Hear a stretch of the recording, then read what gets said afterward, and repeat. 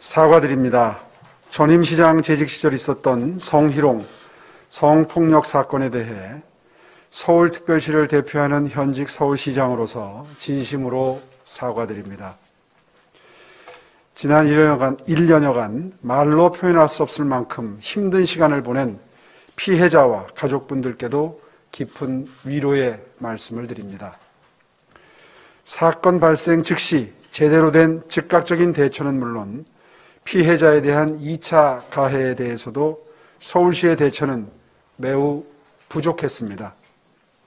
설상가상으로 전임시장의 장례를 서울시 기관장으로 치르고 서울광장에 설치된 분향소를 보면서 피해자는 또 하나의 엄청난 위력 앞에서 절망할 수밖에 없었을 것이라고 생각합니다. 저는 이미 피해자의 업무 복귀 지원을 약속을 했고 동일 또는 유사한 성범죄 사건의 재발을 방지하기 위해서 시장으로부터 완전히 분리 독립된 외부 전문가들로만 구성된 전담 특별기구를 설치할 것을 공약하였습니다. 이미 저는 피해자를 만나서 업무 복귀 문제를 상의하였고 원활하게 추진 중에 있습니다.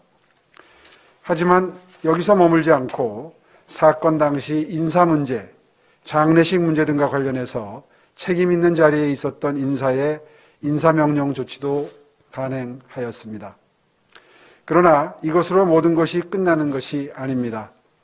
피해자의 안정적인 일상 업무로의 복귀는 물론 우리 조직 내에서 다시는 이러한 일이 재발되지 않도록 하기 위해서는 조직 구성원 모두가 달라져야 합니다.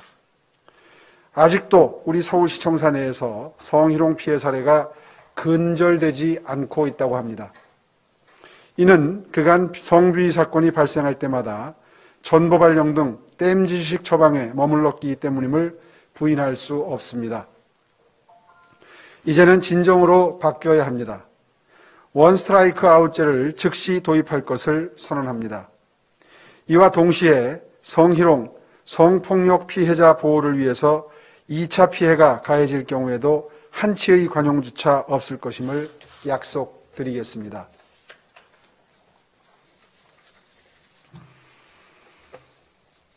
국가인권위원회가 권고한 성희롱 성폭력 심의위원회도 제가 공약드린 대로 시장으로부터 완전히 독립된 외부 전문가들로만 구성된 전담 특별기구로 격상시켜 운영하겠습니다.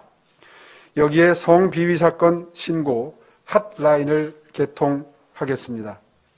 뿐만 아니라 성희롱, 성폭력 교육과 관련해서도 서울시청 본청뿐 아니라 본부 및 사업소 그리고 공사와 공단은 물론 출연기관의 전 구성원들을 대상으로 100% 이수 의무제를 도입하겠습니다.